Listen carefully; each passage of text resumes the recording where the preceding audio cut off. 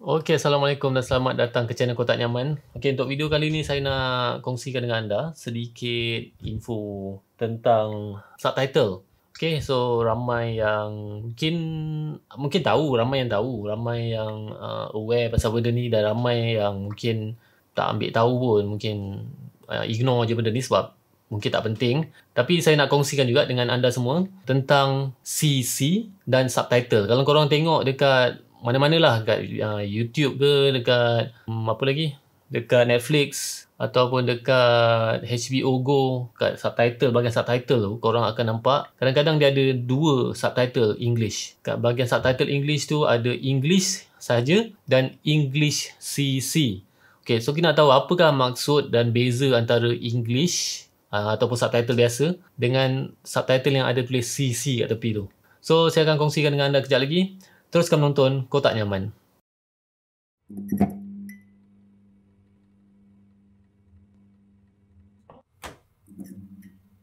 Okay, sebelum saya teruskan, saya nak minta anda untuk subscribe dan like channel Kotak Nyaman supaya saya dapat hasilkan lebih banyak lagi konten-konten yang bermanfaat untuk anda pada masa akan datang. Okay, dalam video kali ini, saya nak buat perkongsian sikit tentang apakah yang dimaksudkan dengan subtitle biasa dan juga CC ataupun dipanggil closed caption.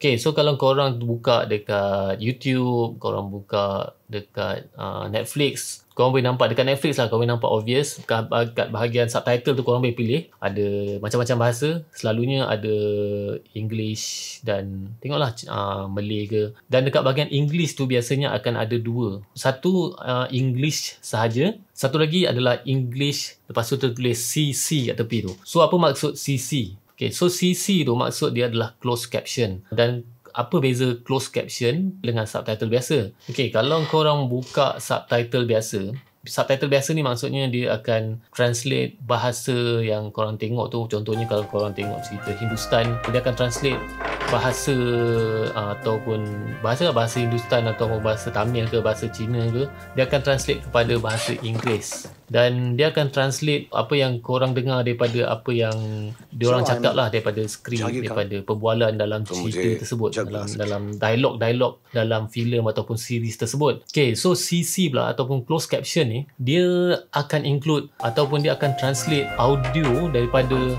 filem ataupun series itu sendiri. Okay, so kalau nak dibandingkan dengan subtitle, closed caption ni dia lagi detail. Dia akan translate walaupun bunyi audio daripada movie itu sendiri pun dia akan masukkan kan? Contoh ada bunyi pintu uh, bunyi orang ketuk pintu ke ataupun orang tutup pintu ataupun bunyi air daripada shower head ke dia akan masukkan sekali dalam bahagian subtitle tu. Memang lagi detail lah. Dan senang cerita sisi ni dia akan translate audio daripada filem atau siri tu sendiri termasuk bunyi dan dibawa kepada bahagian subtitle. Berlainan dengan subtitle dia akan translate perbualan ataupun dialog tu je. Kebiasaannya lah saya tengok kalau korang tengok cerita uh, yang dia guna kata bahasa rojak ni dia campur English dengan bahasa lokal dia orang. Contoh Hindustan. Kadang-kadang cakap bahasa Inggeris kadang-kadang dia cakap bahasa uh, Hindustan lah. Okay? bila kau guna subtitle kebiasaannya perbualan dalam bahasa Inggeris tu dia orang tak translate tak masukkan sekali dalam part subtitle Uji ataupun dekat tulisan bawah dekat bahagian subtitle tu. Dia akan translate bahasa Hindustan atau bahasa-bahasa uh, lain lah bahasa yang korang tengok filem tu. dan CC pula ataupun closed caption ni dia akan translate bahasa Inggeris tu sekali. so kalau kadang-kadang kalau korang rasa ada masalah untuk tengok cerita Hindustan yang uh, kata guna bahasa rojak dia campur English dengan Hindustan ni. Dan korang mungkin ada bahasa Inggeris tapi korang tak dapat nak tangkap apa yang orang cakap. Korang boleh tukar dia punya subtitle tu kepada English CC so dia lagi complete dia akan masukkan sekali dengan bahasa-bahasa Inggeris punya perbualan. Semua sekali. Perbualan uh, bahasa Inggeris ke ataupun ada bahasa bahasa dia orang sendiri ke bahasa uh, bahasa Spain ke bahasa apa dia akan masukkan sekali. Semua complete dengan rujukan detail audio sekali. Tapi sebenarnya kegunaan CC ni dia lebih tertumpu kepada orang yang ada masalah pendengaran. Ada orang kata orang-orang OKU yang ada masalah pendengaran di mana mereka tak dapat nak enjoy the audio itself lah. Dapat dengar dia punya audio tu. Dan disebabkan itulah CC ni berguna untuk mereka. Mereka akan dapat tahu okay sekarang ada bunyi ni. Dalam cerita tu dia akan dapat imagine bunyi tu sedang berlaku dalam dalam scene tu. Dan subtitle ni lebih kepada orang yang uh, boleh faham apa yang diorang cakap dalam bahasa Inggeris ataupun korang boleh dengar audio yang apa yang berlaku dalam filem ataupun series tu tapi korang cuma nakkan bantuan untuk translate kepada bahasa yang korang faham. So tu adalah beza subtitle dan juga CC. Okay so kepada korang ini adalah untuk penonton lah tapi kepada content creator contohnya kepada YouTubers apakah kepentingan kalau korang ada masukkan subtitle ataupun CC ni ke dalam video korang.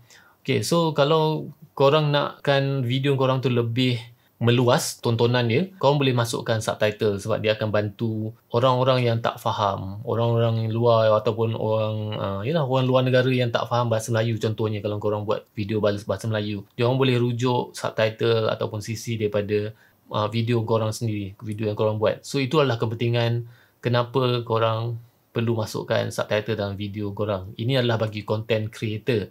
Dan kepada penonton pula, uh, selain daripada untuk uh, sisi tu untuk orang orang uh, yang ada masalah pendengaran kebanyakan kita yang gunakan telefon bimbit sekarang kita tak on audio bila buka video. Terutamanya bila dalam uh, kawasan ataupun keadaan yang uh, orang kata tak nak bising kat dalam office dalam bilik masa nak tidur tak nak ganggu orang lain. Kadang-kadang kita tengok video tu kita tak buka audio pun. Dan ini adalah orang kata bonus lah kepada korang semua sebab adanya subtitle dan juga CC ni. Dengan adanya CC tu korang boleh tahu ataupun boleh layan uh, movie ataupun filem ataupun video tanpa perlu on audio.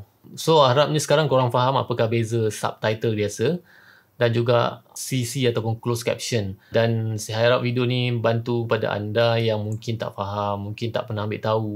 Dan video ni adalah sekadar untuk berkongsi uh, kata berkongsi ilmu lah tentang apakah perbezaan antara subtitle dan juga closed caption. Dan kepada anda yang belum subscribe channel Kotak Nyaman jangan lupa untuk subscribe dan like channel Kotak Nyaman supaya saya dapat hasilkan lebih banyak lagi konten-konten yang bermanfaat untuk anda pada masa akan datang. Terima kasih kerana menonton channel Kotak Nyaman. Assalamualaikum